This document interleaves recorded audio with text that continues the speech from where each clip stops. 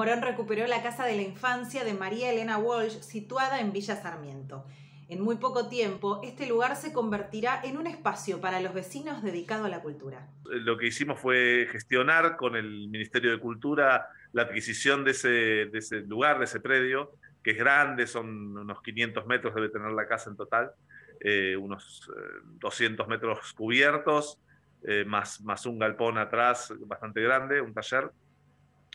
Bueno, y la idea es ahí reconstruir un poco, ya te digo, la, la, casa original, lo que se puede de la casa original, pero que no sea un museo, que sea un espacio que realmente puedan disfrutar los jóvenes, los chicos de las escuelas, de los jardines de, de Morón y de la zona, porque, mm, como vos sabés, María Elena es una figura eh, de la que nadie, de que no tiene sentido apropiarse, digamos, ¿no? No queremos decir María Elena es de Morón como quien da una pelea por si de Buenos Aires, eh, de, Toulouse o de Uruguay, digamos, ¿no? Eh, realmente es una figura que trasciende el lugar donde nació, que trasciende su propia existencia, cuya obra tiene esa virtud de no ser, no solo haber influenciado en muchas generaciones que hoy somos adultos, sino también de seguir influenciando a, los niños de hoy. ¿no? Eso es una, cosa que pocas veces se da y, habla de la contundencia de su obra y de su figura.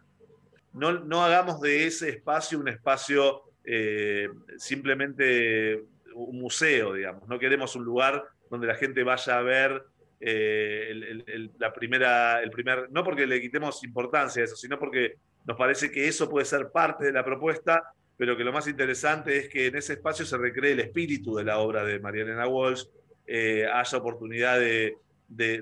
que haya un ámbito más lúdico, eh, recreativo, donde,